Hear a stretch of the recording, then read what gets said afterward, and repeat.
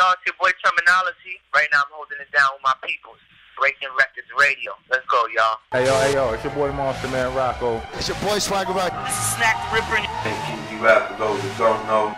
Masta Ace. You are now rocking with the best. Breaking Wreckords Radio. Breaking records, man. Breaking Wreckords Radio. Breaking Wreckords Radio. Breaking Wreckords. Breaking Wreckords. Breaking Wreckords Radio.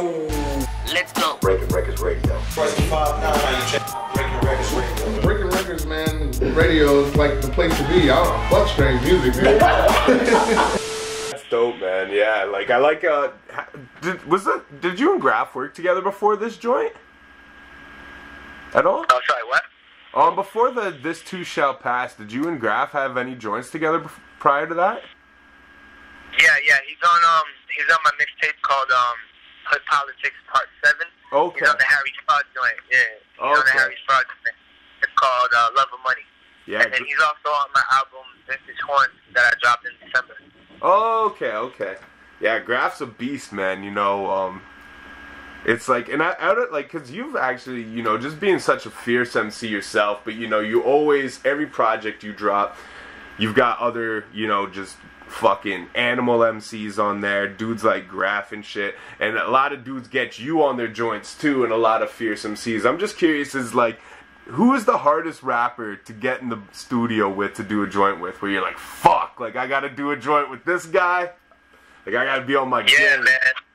I mean, there's, there's certain MCs that when you get on a song with them, you, you know you got to go hard or they're gonna body you. Yeah, You know, you have to. They're just, they're, they're just, they're amazing rappers. You know what I mean? And they body everybody, so nobody's exempt from that. Um, you know, somebody that is somebody hard to get is Little Fame, man, from MOP. He's just so amazing. Like him being on songs with MZ and Big Pun and Kool G Rap and like you know 50 Cent and all these big, big artists and him.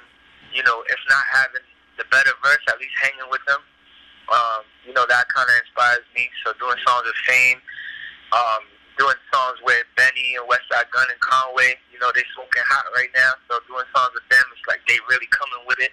yeah, So, you know, you, you doing a song with those guys, your pen better be ready. Uh, every, every time I did a song with Sean P, you know, his personality was so fierce. It was so, it was so big, bigger than life that you really had to come with it. Um, Cassidy, Cassidy's pen work is crazy. yeah, So the the, rec- the records with Cash was crazy. Um, the record with Joey Badass was, was nuts. You know, um, King Crooked, King Crooked definitely is is, Yeah. is hard. Yeah. man, he bodies everybody. So yeah, man, those are some dudes that I really respect in pen game, and they go crazy, man. So you know, when when doing songs with them, you just you really got to go hard. yeah. And actually, um, you know, we're we will wrap this up uh, in a in a few minutes. But uh, you just mentioned them, and that actually had me wondering too, because uh, you've been working with the Griselda guys for a few years now, but they're really just kind of starting to get their flowers and their their you know large large scale notoriety now. But um. I was kind of curious too. How did that kind of relationship first uh, form with you and the, the Boston or the sorry the Buffalo dudes? uh, yeah, they would just come by Statik's lab a lot, you know. So they would come by, and you know, Statik would be working with them, and I played them some joints, and you know, Khan ended up getting on something. Then you know, me and Benny got in the lab, did something. We did uh, me, me, Conway, Westside did number eight for Statik. We flew to Buffalo, shot the video for that. So um, That's a dope. yeah, man, we, we've been we've been big supporters and big you know fans of Griselda from the beginning, man. So we're very happy to see them shining, and you know they're they're still they're still growing, man.